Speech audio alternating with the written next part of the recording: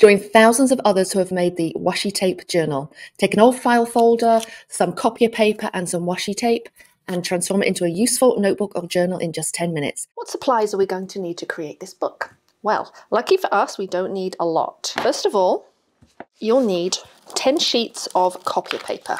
This is just regular photocopier paper, nice and cheap, fairly thin. I need to have 10 sheets, 8.5 by 11 or A4 if you are in Europe.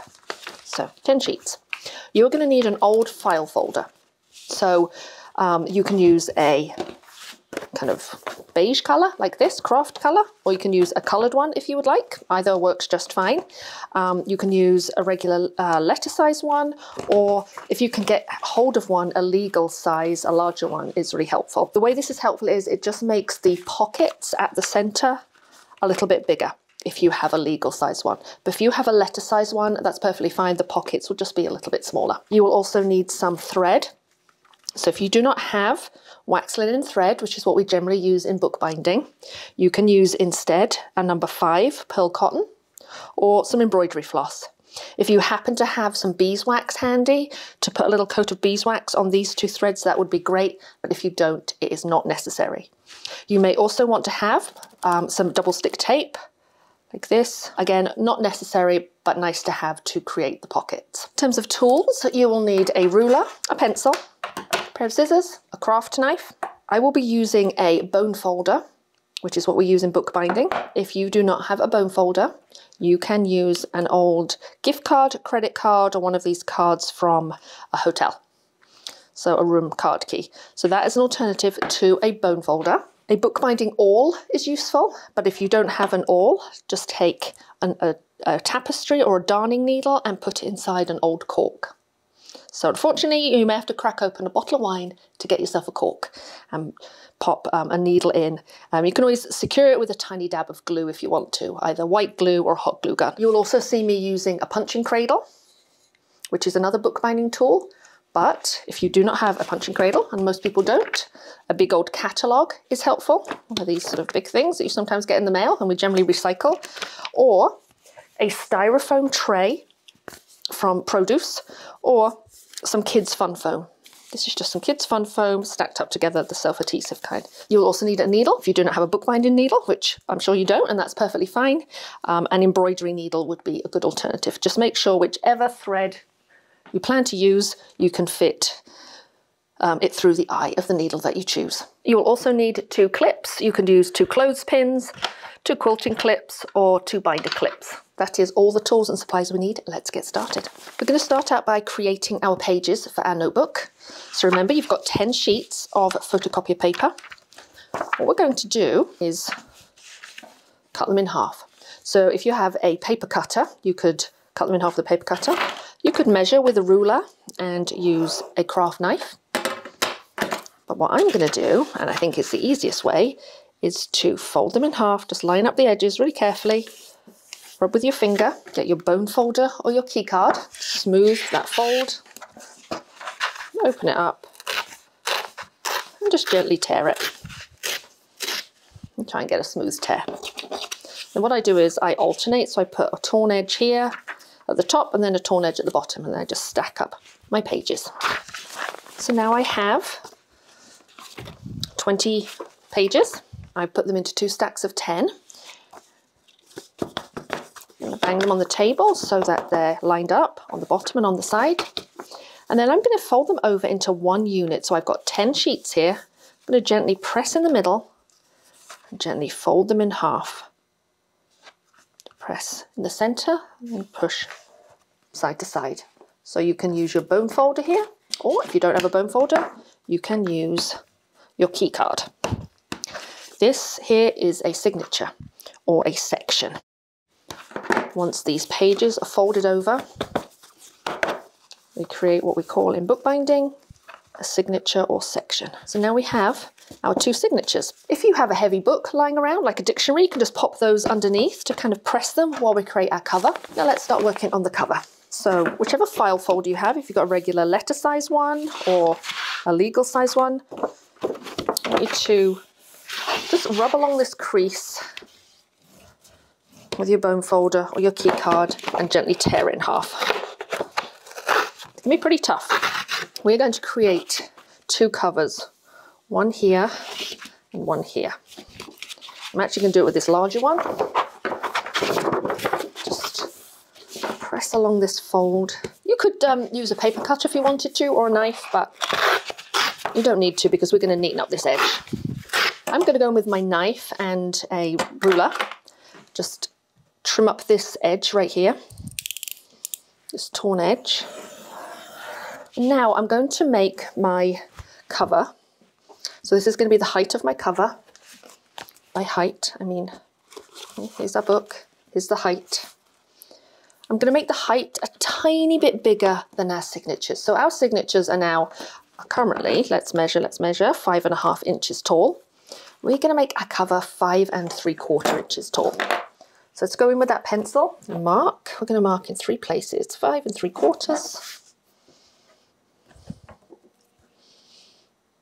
Five and three quarters. Five and three quarters. And I'm going to join all three dots together.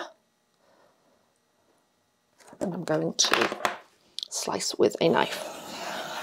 Again, use a paper cutter if you have one. Here's one of my covers. Now that's super long, but that's exactly what we want. And let's do the same with the other half of the file folder. I'm gonna get rid of this folded part, scored part, couldn't think of the word. I'm gonna get rid of this scored part first. Make sure you've got a nice sharp blade on your craft knife. Use an X-Acto, put a new blade in, or if you're using one of these ones where you snap off the blades. Let's turn that around and make another cover that is five and three quarter inches high.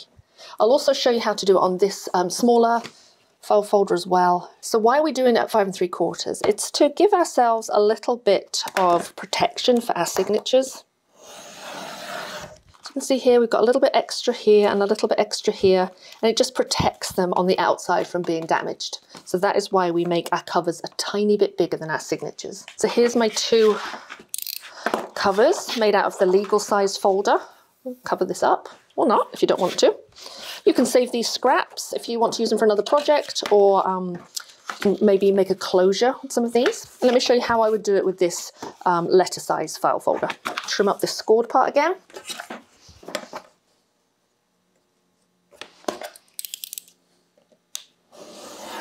From that edge that I just cut, measure five and three quarters again.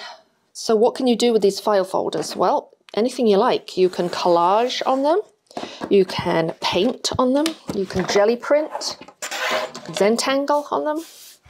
So here's one of our green covers. You just notice that it's just shorter because this is a letter size file folder and this is a legal sized file folder. Say that five times quickly.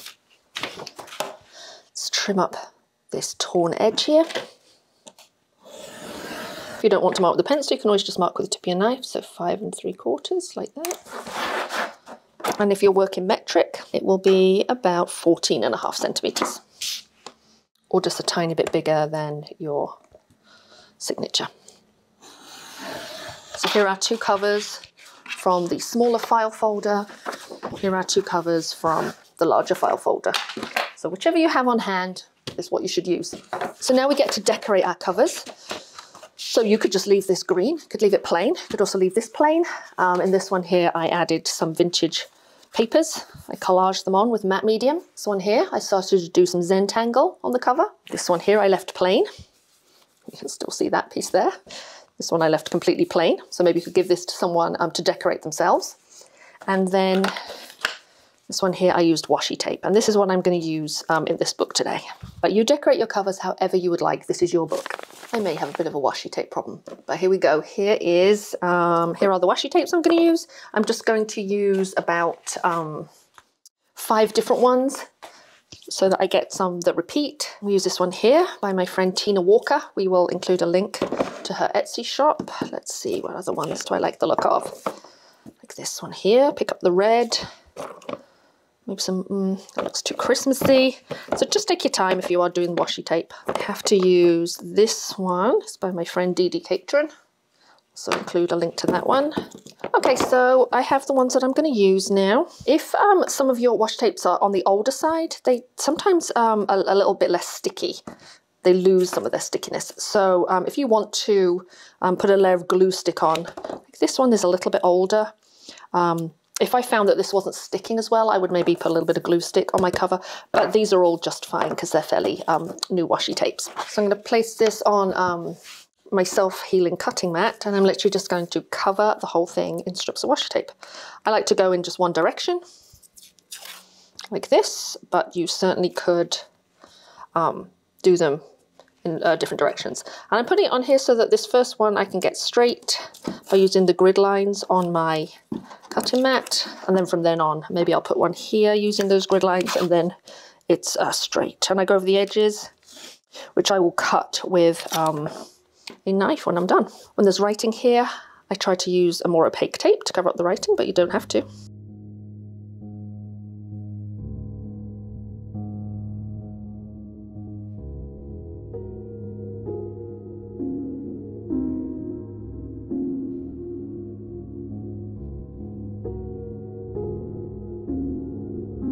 Once you've covered the whole piece, I generally go over it with a bone folder or my card, my key card, gift card, and just make sure it's adhered really well. If any of them, like I said earlier, aren't sticking properly, add in a little glue stick, then flip it over, trim off the excess.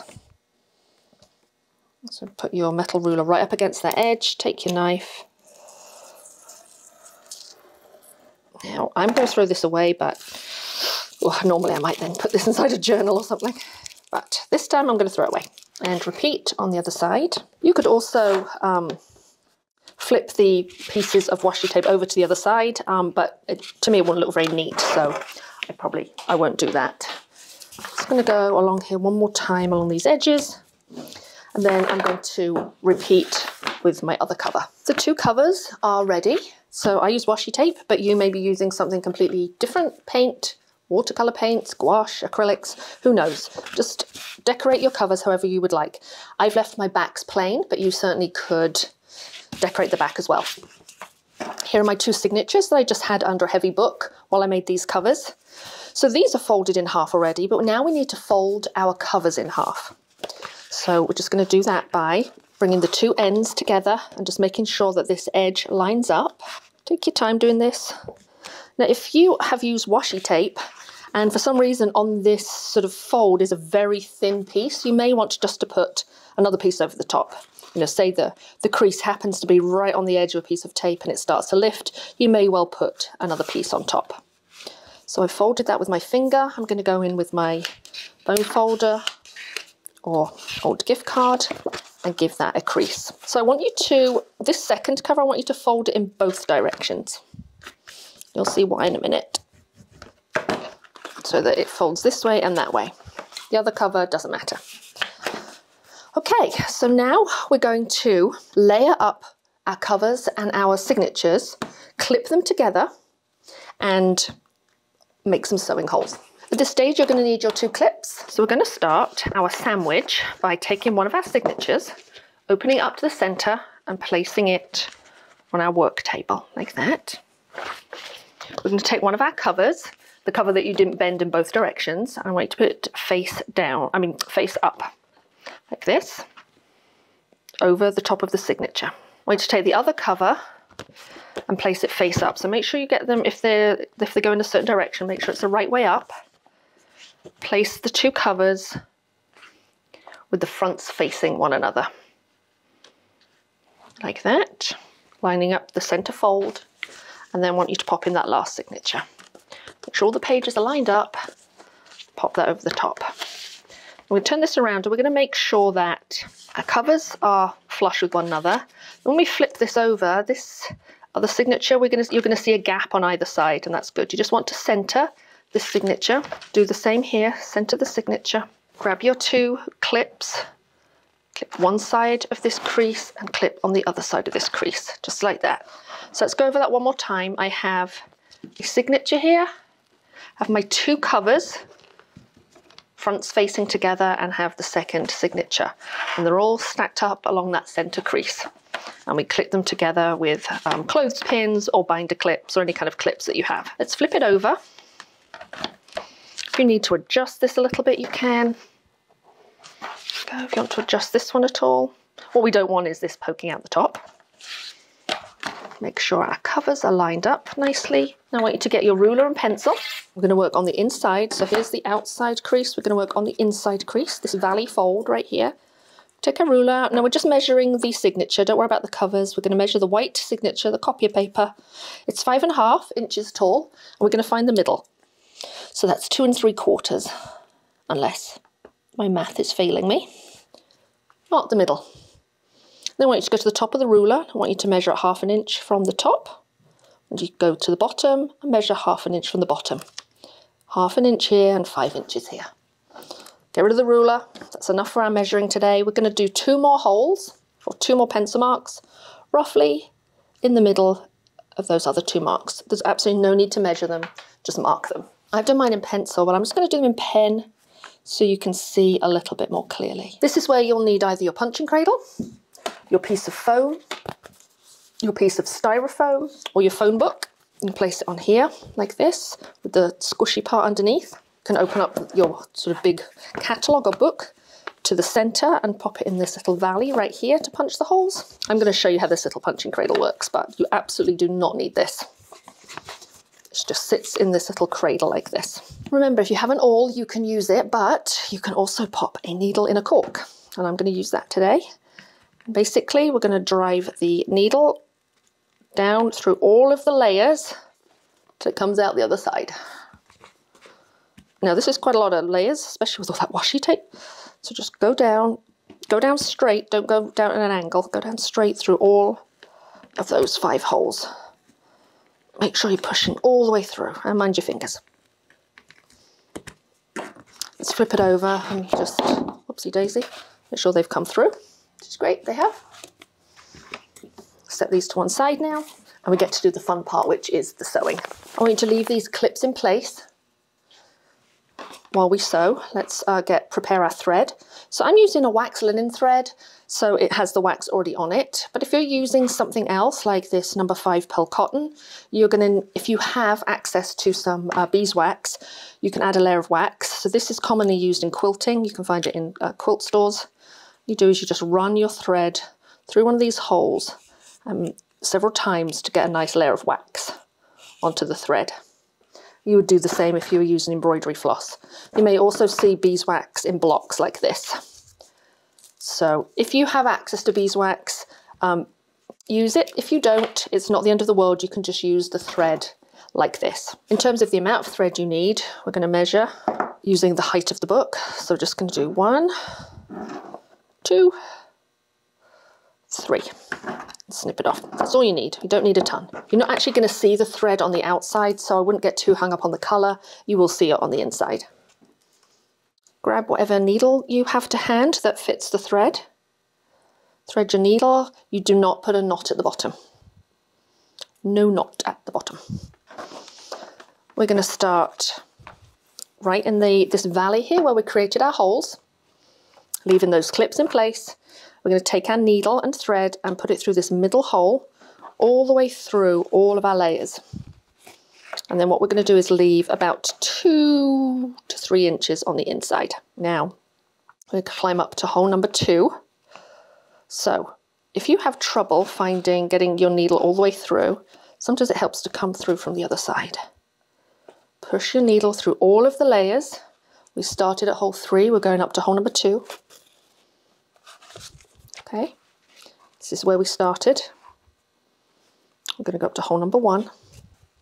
Pull nice and tight. Don't pull so tight that you rip your paper. Pull nice and tight. So we started here. We went to this hole, went to this hole, and now we're on this side.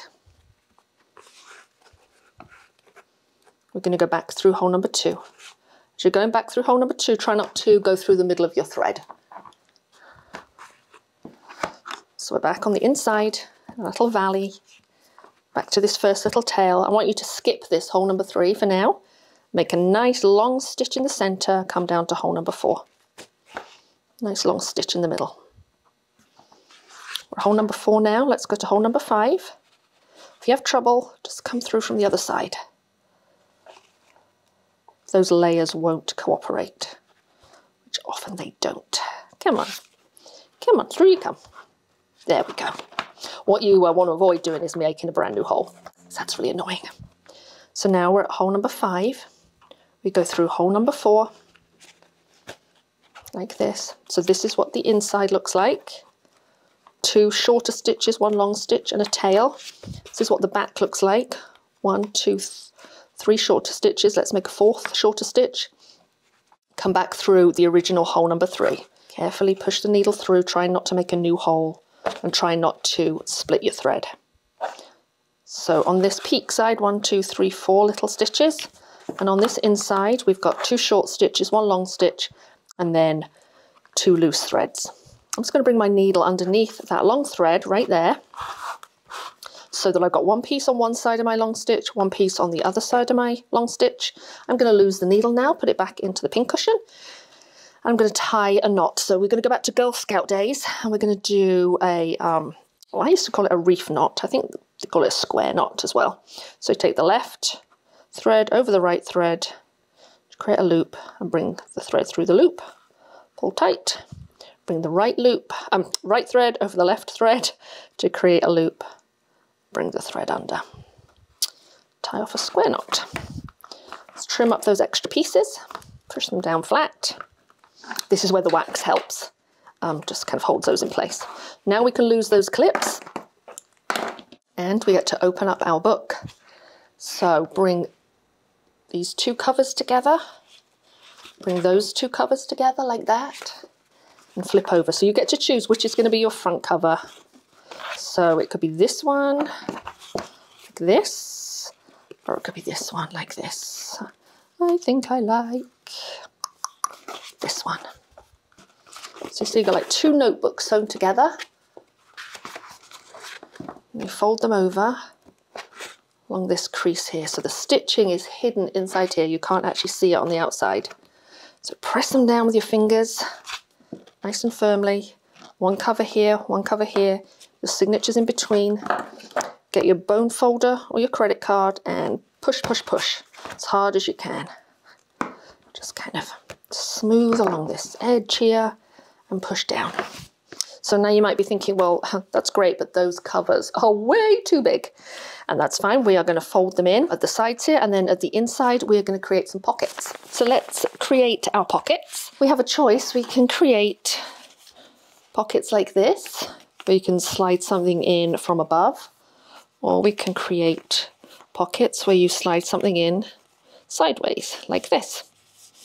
So I'm going to show you um, both options and then you can decide what works best for you. So they're both going to start out, so we're going to start out in the middle of the book. These are two sort of center covers. To start out by folding this in almost to the edge, but, but not quite, just leaving maybe a quarter inch right here.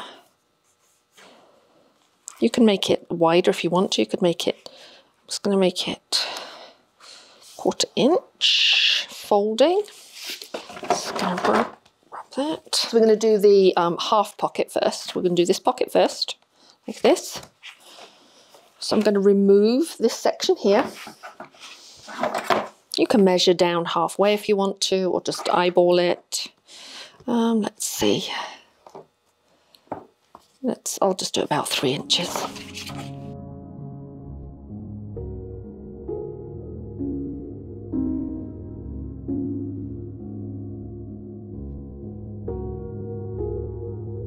So we have a little pocket. Now you can use, um, you could use washi tape to secure this bottom edge um, or double stick tape. I'm going to use double stick tape just because it's a little bit stronger. This is called um, Scor-Tape um, but there are there are several other brands around. Um, one's called like a red liner tape. Also get it on um like with a dispenser as well, and you put down the tape and then you remove the backing. It's kind of plasticky backing. And you fold it down like that. So you could secure this edge as well, but I quite like to keep that open, and then you can um, put whatever you like inside this pocket from above. You can also cut out a little notch as well if you want to, like a little circle or a square. And then let's do the other type of pocket. So working with the other sort of inside cover. I'm going to fold it You're not going to fold it all the way to the edge. You're going to leave about an inch right here between the, um, the spine and the edge of your pocket. Fold it again and rub with your rub that crease with your bone folder or your card. If you happen to have um, a little circle punch, you can cut out a little notch like this, or um, you know, just do it by hand, or do a little square or a little triangle. It's not necessary. And then take your double stick tape, and we're going to tape along these top two edges. You could also um, use glue along here if you um, didn't want to use double stick tape or you could skip the pockets completely. It's entirely up to you. There we go. So there's our other pocket. Let's rub along that adhesive. And there's a side pocket that you can pop something into, little notes or little tags or something. Okay, so that's how you um, handle the inner pockets. And now we have to um, sort out these extra wide covers. So we have the opportunity to create more pockets if you want to make um, another pocket like this one where you slide in something. You could certainly do that but I'm um, just going to create a regular fold over cover. Let's start with the back cover. Open up to middle. Have your signature right here. I want you to grab your ruler and slide it between the signature and the cover. And I want you to leave a gap of about an eighth of an inch along here. And then you can go in with your bone folder or with your um, card and score a line along the edge of the ruler and then push up against that ruler. It's important though that you have this little gap here, that you have like an eighth of an inch of um, ruler showing. Take away the ruler and then go back in and press that fold that you just scored. What it does is creates a cover that protects the signature inside. Let's do that on the other side. This can be left open like this as a flap. You can um, completely glue it down. You could just cut along this scored um, line and, and not have this fold over. You can glue it down with double stick tape or you can um, make it into a little pocket. It's entirely up to you. I'm not going to create a pocket with mine. I'm actually going to glue down these flaps. Your flaps might be um, smaller because you used a letter size envelope. I mean letter sized file folder. That's just fine. Just going to put a couple in there. So I have glued down my two side flaps. I'm not going to use them as pockets and my little notebook is finished. So I have this front cover, we have a nice protective flap, my first 20 pages, we have two pockets, two different pockets, another 20 pages, and then my back cover. Enjoy the book and be sure to send me a photograph of your finished book.